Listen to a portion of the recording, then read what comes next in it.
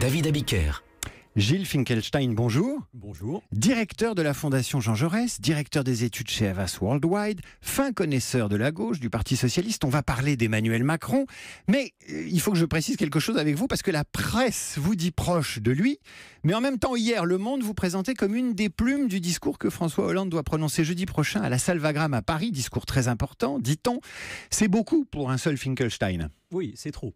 C'est trop C'est trop. Alors, c'est l'occasion d'une mise au point. Et vous êtes euh, Absolument. chez Macron, vous êtes chez Hollande, vous êtes où? J'ai lu tout ça.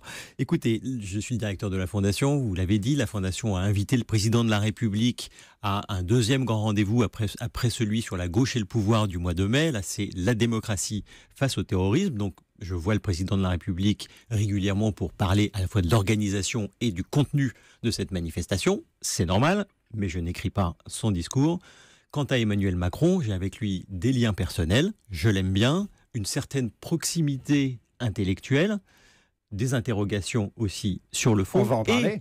J'ai écrit un livre dans lequel j'ai formalisé les choses cette année même, qui s'appelait Piège d'identité, une divergence stratégique sur le clivage gauche-droite. Donc, il a revendiqué sa liberté, je revendique la mienne. Alors, on va quand même parler d'Emmanuel Macron et de François Hollande dans l'ordre.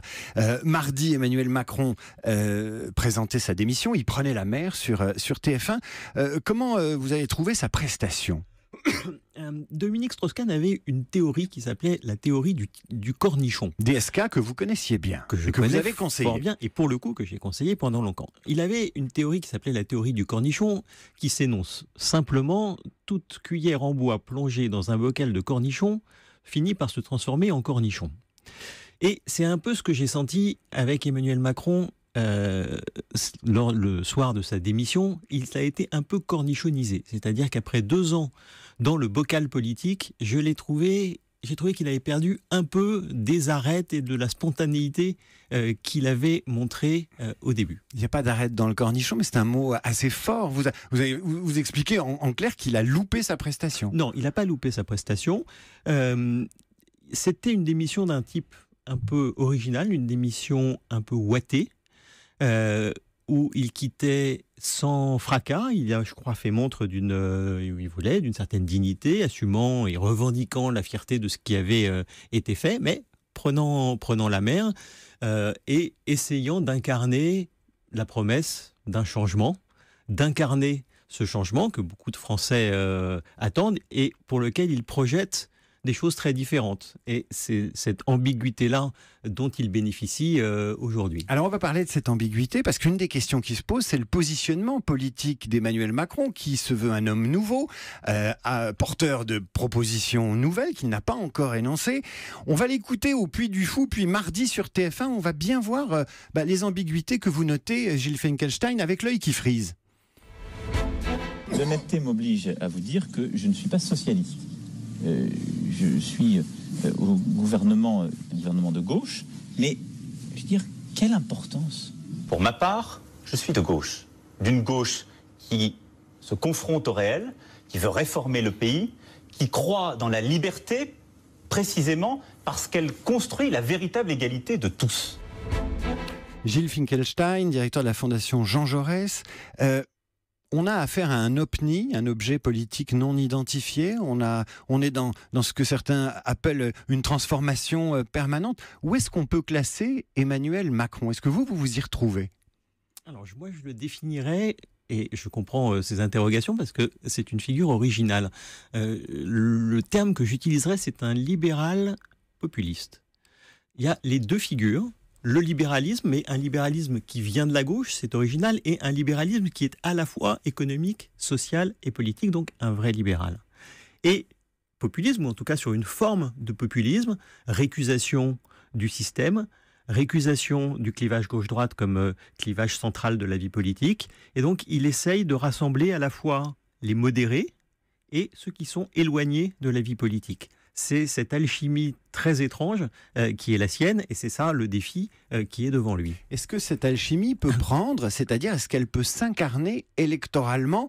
On a parlé du rocardisme, on parle du hollandisme. Est-ce qu'un jour, prochain, tôt, on pourrait parler de macronisme où finalement l'équation est compliquée? Par rapport à ce que vous venez de dire, c'est une sorte de grand écart hein, quand même. Alors l'équation est très compliquée. Il a devant lui un défi euh, programmatique, il faut qu'il élargisse le spectre. On le connaît, on connaît ses positions économiques, mais il y a mille et un sujets très importants dans la France d'aujourd'hui sur lesquels on ne connaît pas ses positions et les gens projettent sur lui des choses. Le jour où il sortira de cette ambiguïté, il peut y avoir de la déception. Donc ça, c'est le, le premier défi.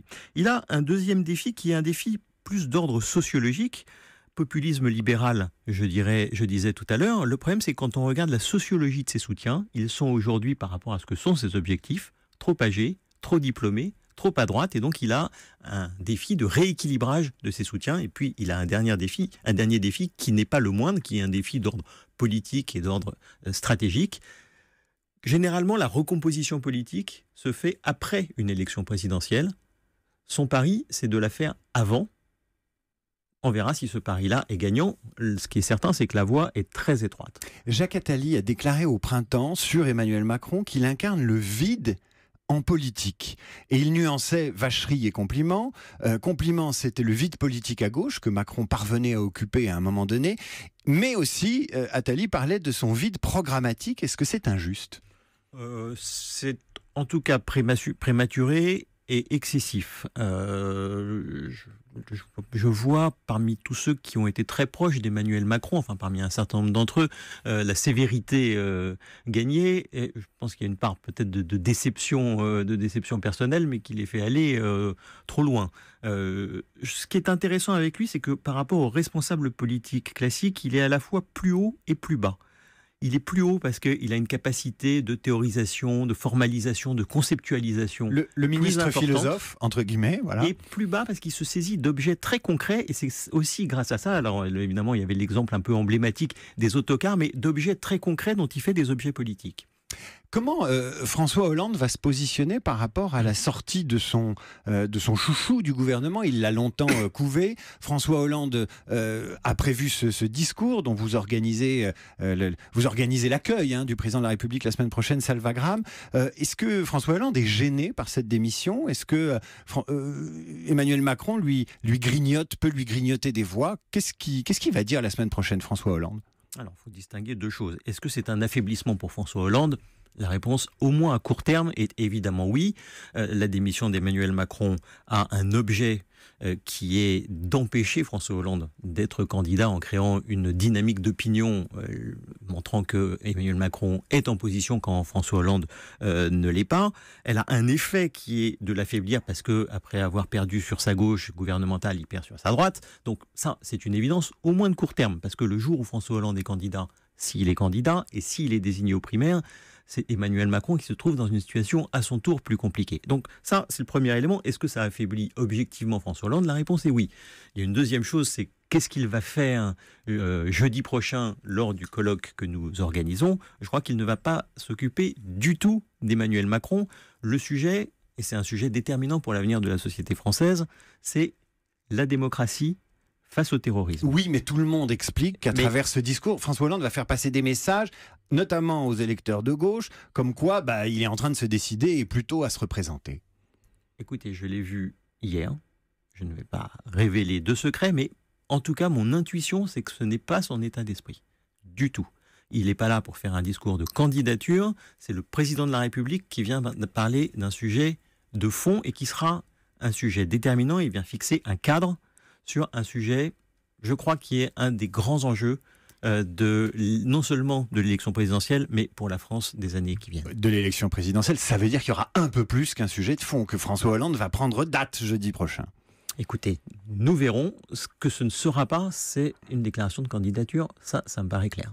Gilles Finkelstein, directeur de la Fondation Jean Jaurès, directeur des études chez Havas. Vous avez publié chez Fayard Piège d'identité. Euh, donc, ni plume de François Hollande pour la semaine prochaine, ni conseiller d'Emmanuel Macron, apte à les juger tous les deux. Merci d'être venu ce matin sur Europe 1.